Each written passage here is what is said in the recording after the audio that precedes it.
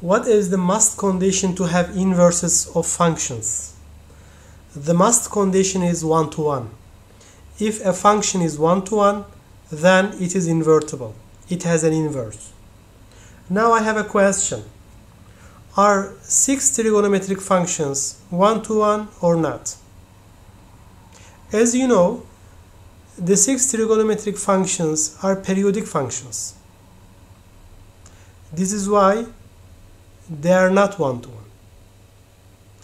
Since they are not one to one, they are not invertible with their domains. This is very crucial remark. But, however, if you restrict their domains, then you have inverse trigonometric functions. If you do not restrict their domains, then of course you do not have inverse trigonometric functions since they are not one-to-one, -one, since they would be uh, periodic functions. Let me now remind you the graphs of some trigonometric functions, sine function, cosine function, and the tangent function. As I told you, the domain of sine, for instance, is from infinity to infinity, and the original sine function, as you see, is not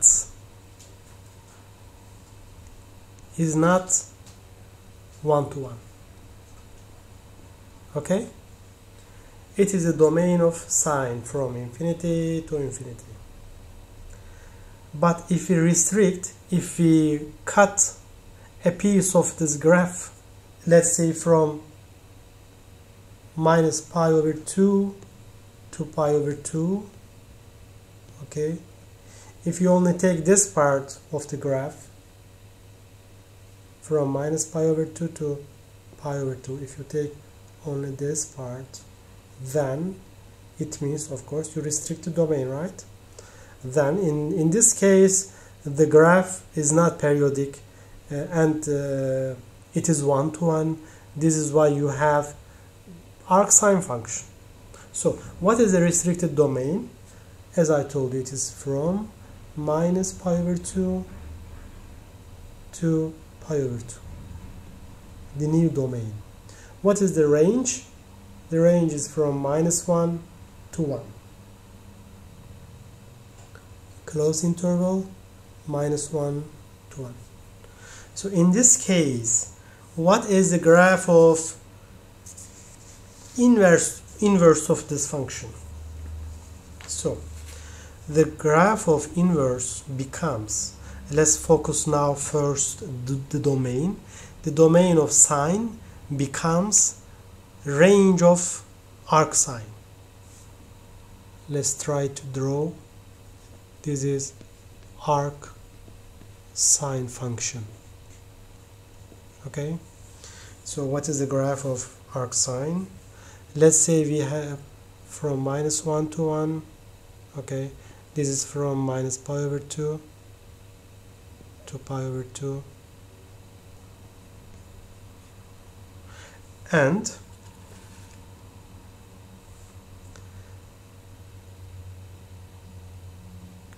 inverse sine you have this one.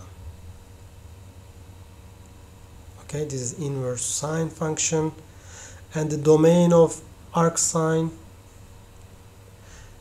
is the range of sine from minus 1 to 1 range of arcsine is the domain of sine. Okay? And as you see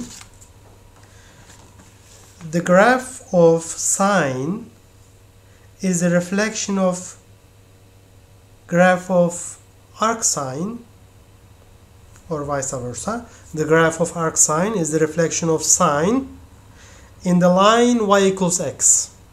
Okay, if you draw a, a line y equals x, then you see that they are symmetric with respect to the graph of sine and the graph of arcsine is symmetric with respect to the line y equals x let me show you this is the line y equals x and as you see they are symmetric with respect to the line. As you say I'm not good at drawing. Okay? As you see they are symmetric with respect to the line y equals x. It is another point okay? And all trigonometric functions are the reflections uh, or all trigonometric and inverse trigonometric functions uh, are symmetric with respect to the line y equals x. And now let's look at the graph of uh, cosine and arc cosine function. And as you see this is the graph of cosine function okay? If you restrict the domain if you only take this part from 0 to pi this is pi from 0 to pi and uh, in this case the range becomes from minus 1 this is minus 1 this is 1 from minus 1 to 1 close interval of course. Uh, and what about as I as I told you you if you draw a y equals x line then you will easily draw the inverse cosine.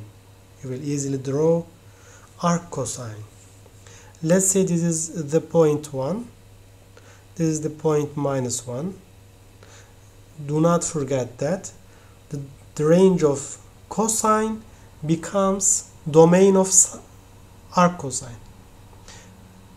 So the domain is from minus 1 to 1 range is from 0 to pi. Okay? This this is y equals arc cosine. Arc cosine x. So I need the space here. Let me draw here.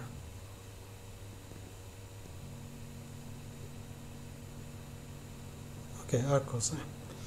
So let's say this is the point pi over 2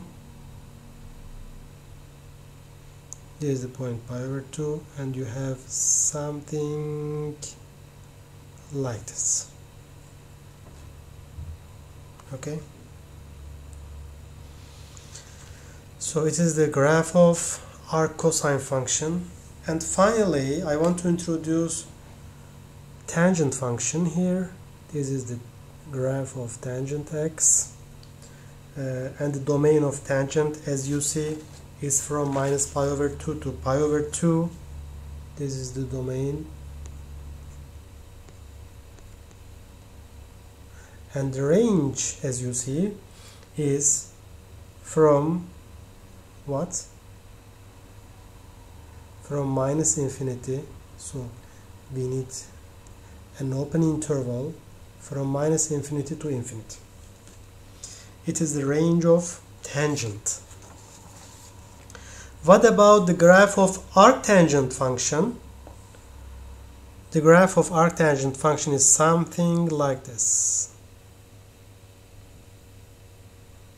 y is arc tangent x domain range so this is the graph of arctangent something like this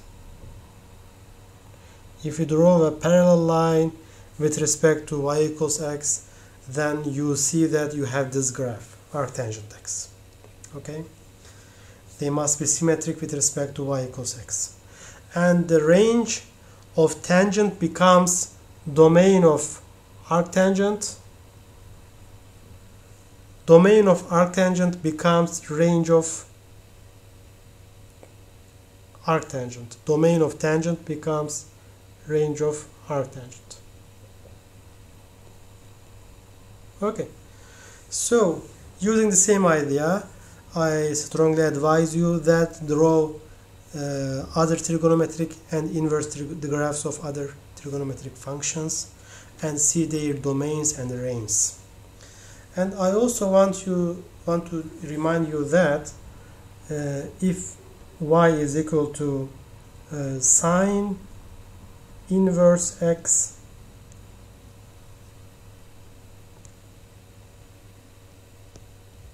Sine inverse x. In this case x is equal to if you apply sine to the both sides of equality you have x equals sine y. Okay? I think you are familiar with this identity from high school but I want to remind you. If you have arctangent if you apply tangent to these sides, then x equals tangent y. They are basic but they are important. Uh, if you say y equals arc cosine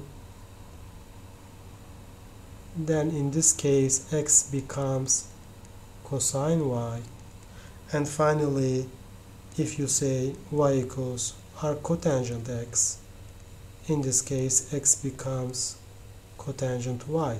And do not forget that y is the function of x. Y here is not a variable y is a function of x. Let's have some examples okay? Assume that we are looking we are looking for this value arc sine square root 3 over 2 so if you are looking for the value of this expression the value of arc sine square root over 3 let's say this is equal to x. We don't know what is x. In this case if you apply since this is sine inverse if you apply sine to the each side of the equality you have sine x is equal to square root 3 over 2 so you are asking for which value of sine for which value of sine you have square root over 2 for which value? If you ask this question you will immediately get the result. X equals pi over 3 for pi over 3 sine is equal to square root over 2 another example arc cosine minus 1 over 2 using the same idea. Let's say this is equal to x. We don't know what is x. We are looking at the value of x. Then since you have inverse cosine on the left hand side of the equality apply cosine to each side of the equality then you have cosine x so since we apply cosine to the right hand side of the equality you have cosine x is equal to minus 1 over 2 so you are asking this question the same question for which value of cosine you have minus 1 over 2 then if you ask this question you immediately you immediately have x is equal to 2 pi over 3 okay you can respond uh, this kind of questions using this method uh, I finally want to, uh, re to remind you that truncated versions of trigonometric functions have inverses okay if you do not restrict their domains then you cannot have inverse trigonometric functions. It is the first part of the lecture. In the second part, we will uh, focus on derivatives of inverse trigonometric functions. Then I will give some proofs, how proofs of inverse trigonometric functions. I I am sure that you know what is derivative of sine, but how can you show derivative of sine is equal to cosine. I will explain this. I will give uh, some proofs in the next lecture.